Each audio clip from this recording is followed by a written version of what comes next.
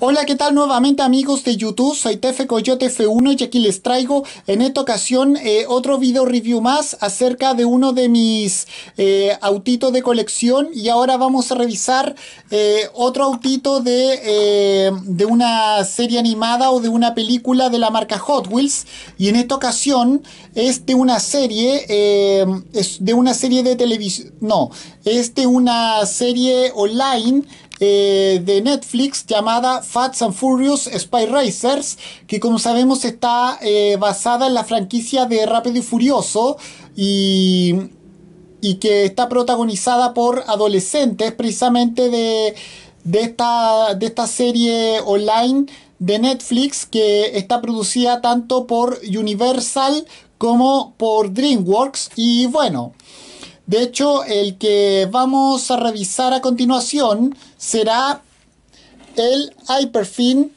eh, de eh, Fats and Furious eh, Spy Racers versión Hot Wheels. Bueno, bueno, acá pueden verlo. Bueno, como yo ya le dije, esta es de la, esta de la serie online de Netflix, Fats and Furious Spy Racers, lo que significa eh, traducido desde el inglés Rápido y Furioso, eh, Corredores Espía.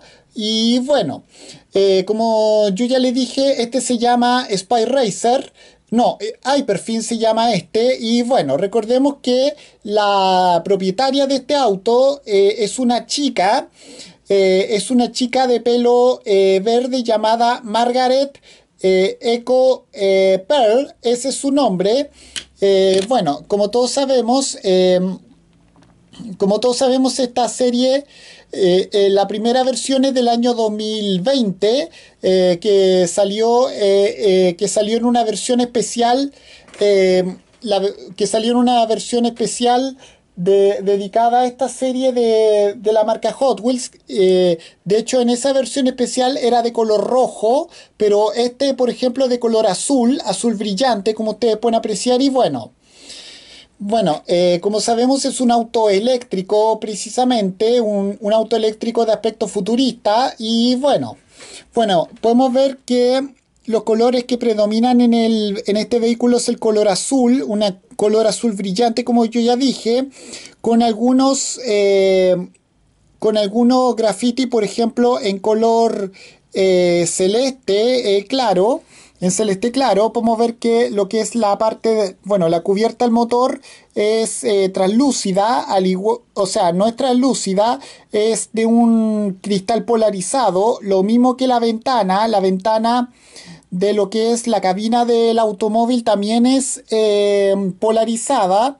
Y bueno bueno podemos ver que eh, sus llantas son en son en gris mate en gris mate oscuro y podemos ver que tiene unas y podemos ver que tiene eh, podemos ver que tiene que están simulados sus amortiguadores podemos ver que están simuladas las tomas de aire bueno eh, en, la versión, en la versión que es de color rojo, bueno, tenía pintada los faros, las luces, pero los faros, las luces, no tienen pintura, lamentablemente. Podemos ver que tiene más toma de aire lo que son los pasos de rueda. Muy, muy bonito este, este autito. Y bueno, bueno, las ruedas, bueno, las ruedas también giran perfectamente, también se mueven perfectamente las ruedas. Y bueno, ahora eh, a continuación vamos a hacerle unos comparativos. Espérenme un momento.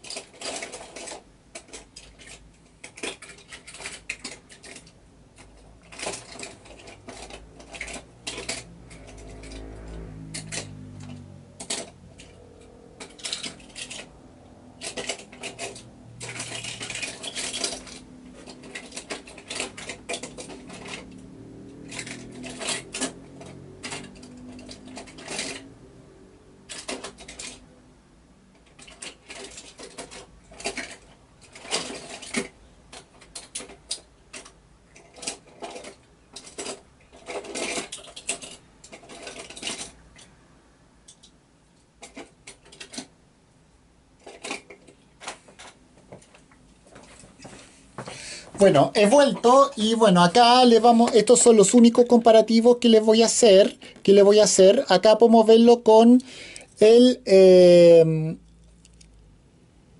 con el con el Prototype H, H24, el Fatfilion y el eh,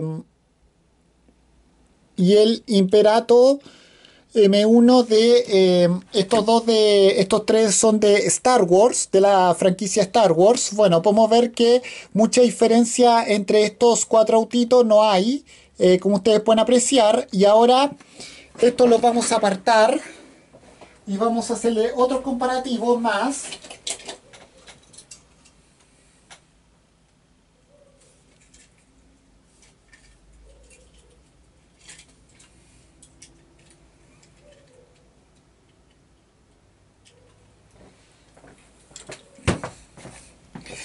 Aquí los tenemos en esta ocasión con eh, estos autitos de eh, Hot Wheels Retro Entertainment de eh, Marvel. Por un lado Hulk, por un lado Iron Man y por otro Capitán América y Capitana Marvel. Podemos ver que, bueno, tampoco hay mucha diferencia entre estos entre estos cinco autitos como ustedes pueden apreciar. Ahora vamos a volver a hacerlos a un lado.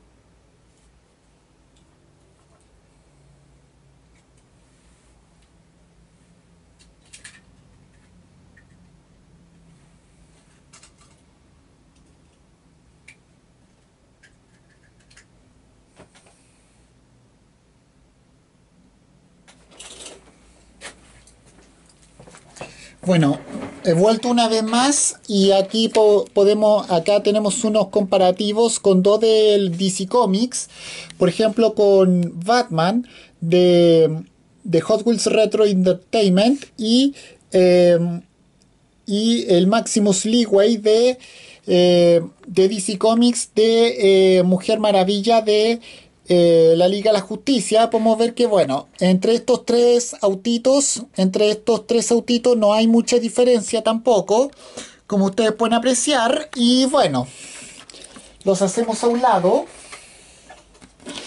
Y bueno, finalmente para recomendarlo, bueno, se lo recomiendo a todos los fanáticos de la franquicia Rápido y Furioso. También se lo recomiendo a, a todos los fanáticos eh, de Hot Wheels, a los fanáticos de, cualquier otra franquicia relacionada con automóviles. Eh, también se los recomiendo 100% y bueno. Eh, y además quiero decirles que este también lo compré en, una, en un supermercado acá en Santiago de Chile. Me costó lo mismo que el batimóvil de que yo ya he revisado, me costó mil y tanto, y bueno, y los dos me salieron más o menos dos mil y tanto. Bueno, eh, también quiero decirles que ya estoy pensando en comprarme otros, eh, otros, eh, otros Hot Wheels de esta serie de Rápido y Furioso Corredores Espía, y bueno. Así que espero que encuentre más de estos autitos de esta serie de Netflix eh, disponible a la venta. Y bueno y con esto cierro este video review. Recuerden por favor cuando vean esto comentar suscribirse a TF Coyote F1 activar las notificaciones dar me gusta y compartirlo como todos mis propios video reviews. Y ahora sí con esto cierro este video. Adiós que me fuera chao